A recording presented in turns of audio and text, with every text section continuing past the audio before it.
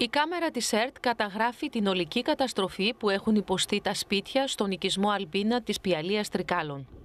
Παίρνοντας στα χέρια τα υπάρχοντά τους, οι κάτοικοι οκτώ σπιτιών αναγκάστηκαν να τα εγκαταλείψουν. Η καταστροφή είναι μεγάλη. Το δικό μου το σπίτι έχει πάρει μια κλίση προς τη μία γωνία. Τα πράγματα που ήταν μέσα αυτά καταστραφήκανε. Είναι ακατοίκητο. Έχουν στερέξει τα, τα δάκρυά μας. Η γειτονιά πάσχει. Και δεν είναι αυτό, πάσχει και όλο το χωριό μαζί και το πρόβλημα είναι μεγάλο. Οι κάτοικοι στην Πιαλία βρίσκονται σε απόγνωση βλέποντας τα σπίτια τους κυριολεκτικά να βουλιάζουν. Το κατολιστικό φαινόμενο εδώ, στον οικισμό Αλμπίνα της Πιαλίας του Δήμου Πύλης, είναι σε πλήρη εξέλιξη. Οι πλάκες στους δρόμους έχουν καταστραφεί ολοσχερός, τα σπίτια έχουν καταστραφεί. Στον οικισμό έχουν δημιουργηθεί νέα μεγάλα ρήγματα, κόβοντας το δρόμο σε πολλά σημεία. Μεγάλες είναι οι καταστροφές και στα δίκτυα ίδρευσης και άρδευσης, καθώς και στον εξοπλισμό που χρησιμοποιούν οι αγρότες για το πότισμα των καλλιεργιών τους. Τραγική είναι η κατάσταση και στο Πήλιο, με τους δρόμους στο επαρχιακό και αγροτικό οδικό δίκτυο του Δήμου Ζαγοράς να είναι κομμένοι κυριολεκτικά στα δύο.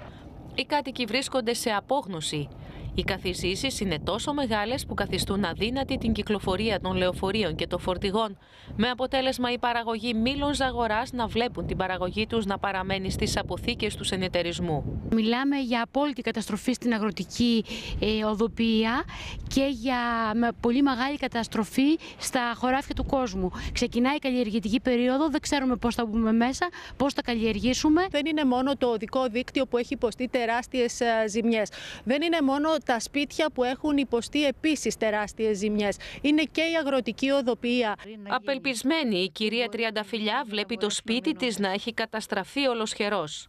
Όπως λέει η ίδια, κυριολεκτικά την τελευταία στιγμή κατάφερε να σωθεί μαζί με το εξάχρονο εγγονάκι της. Μόλις φύγαμε, έπεισε, έπεισε αυτό μέσα, δεν προλάβαμε να πάμε στο χωριό.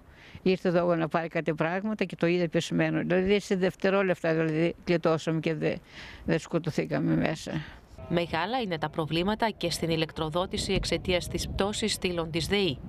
Στην περιοχή έφτασαν κλιμάκια για να καταγράψουν τις ζημιές, ενώ σύμφωνα με τον Περιφερειάρχη Θεσσαλίας, οι ζημιές από τα έντονα καιρικά φαινόμενα ξεπερνούν τα 100 εκατομμύρια ευρώ.